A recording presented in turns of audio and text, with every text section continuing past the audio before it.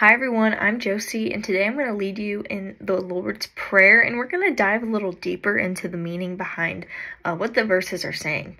So, in the Lord's Prayer, which is found in Matthew 6 9 through 13, it says this This then is how you should pray Our Father in heaven, hallowed be your name. Your kingdom come, your will be done, on earth as it is in heaven.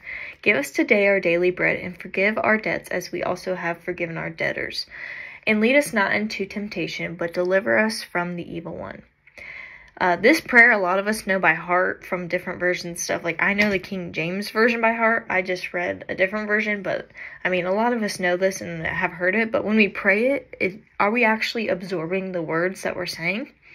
And so there's like six points in these verses or markers in this verse that are important um, in our communication with God. And you might not have thought about all this. So the first is address God's rightful place as the Father. That's like our first point or our first marker in this in these verses. Uh, he is our Father, our Creator. He's everything. He's our Father in heaven. Secondly, the next marker is worship. Worship and praise God for who He is and all that He has done.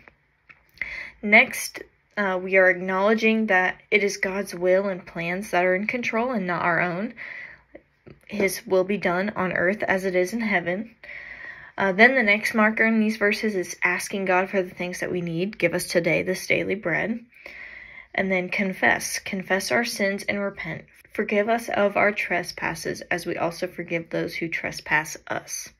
And then finally, the sixth marker that's in those verses is a request.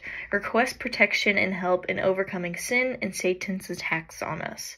Deliver us from evil, the verse says. So next time you pray the Lord's Prayer, maybe remember those markers and pray beyond the surface of the scripture. Um, so let's pray this together one last time, really mean it, knowing the different markers and the different things we are actually saying in this prayer. So let's say it together. Our Father in heaven, hallowed be your name. Your kingdom come, your will be done, on earth as it is in heaven. Give us today our daily bread, and forgive us our debts, as we have also forgiven our debtors and lead us not into temptation, but deliver us from the evil one. For the kingdom, the power, and the glory are yours, now and forever. Amen.